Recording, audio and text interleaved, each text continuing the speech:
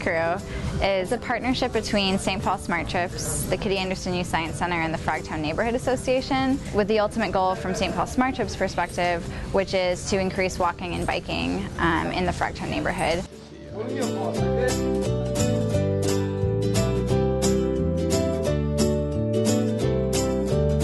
Basically, what we're trying to do is work with youth development and um, work to empower a crew of youth in the Frogtown neighborhood.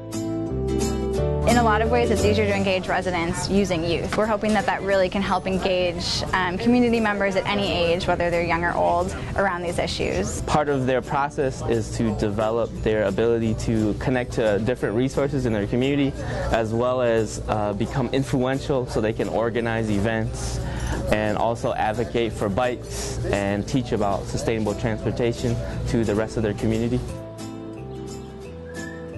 Well, I think it's really, it's, it's one of those things that are really fun. This is like a position for you to work at. You get a, a lot of volunteer opportunities and it doesn't really feel like work. It's more of like, you can say it's like an after school program, but you're just getting paid for it. So it's a double bonus.